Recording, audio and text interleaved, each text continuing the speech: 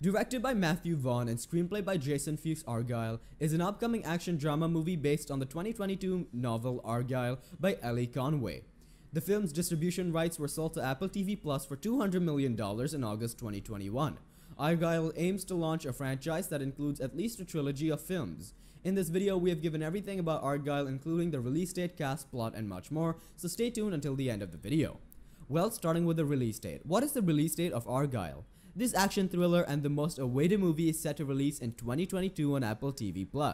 Principal photography started in London in August 2021 and the filming of this movie took place in Europe. Now moving towards the next, what will be the plot for Argylle? The plot revolves around the world's greatest dementia sufferer who is deceived into believing that he is one of the best-selling detective novelists. When his memories and deadly skills return, he takes revenge on the department he worked for. Who will appear in Argylle? The movie has a stellar cast that includes Henry Cavill, Bryan Cranston, Catherine O'Hara, John Cena, Bryce Dallas Howard, and Sam Rockwell.